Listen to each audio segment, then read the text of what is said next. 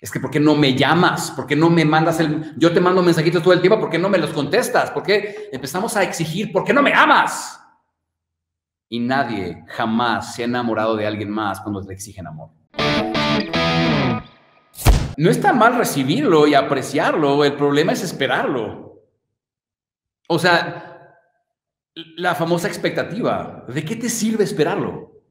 O sea, decir, tú me tienes que dar un reconocimiento. O decir, hmm, a ver a qué hora me lo da. Y si no me lo da, me enojo. No, es mira, yo merezco reconocimiento. Y si no me dan el reconocimiento, o si yo percibo que no se me está dando, pues soy libre para no estar aquí. O puedo expresarlo, puedo comunicarlo. Oye, pues fíjate que me siento así. Pero de ninguna manera es obligación de tu pareja dar tu reconocimiento. ¿No? O sea, ¿en qué momento alguien nos dijo que las personas nacieron para hacernos felices?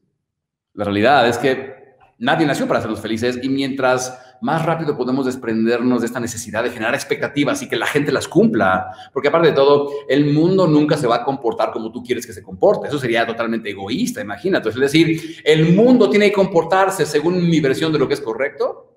No, porque así somos muchos, así lo pensamos. No, es que la gente se, porta de manera indebida, ¿no? Como si el mundo tuviera que ajustarse a, a nosotros.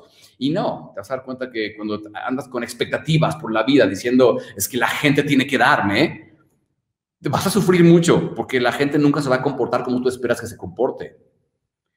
al final la vida nos enseña que, ok, tú te pones en ciertas situaciones, porque la parte nadie te pone en relaciones, tú te pones solita, ¿no? Entonces tú te pones en una relación y tienes la experiencia y al final tú decides si esa es la experiencia que, que estabas buscando, qué es lo que mereces o no.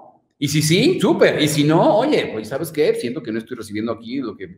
Ok, vamos a crear acuerdos, súper. Y si no puedo crear acuerdos, pues yo no tengo nada que hacer aquí, con permiso, ¿verdad? El problema es creer, no, no, no, es que mi pareja me tiene que amar. Y luego, ¿sabes cuál es lo terrible de esto? Que empezamos a exigir amor. Es que, ¿por qué no me llamas? ¿Por qué no me mandas el... Yo te mando mensajitos todo el tiempo, ¿por qué no me los contestas? ¿Por qué empezamos a exigir? ¿Por qué no me amas? Y nadie jamás se ha enamorado de alguien más cuando le exigen amor. Si yo te digo, ámame, ámame o tomo una pistola y, te mato. No, nadie se enamora de esa manera, ¿verdad?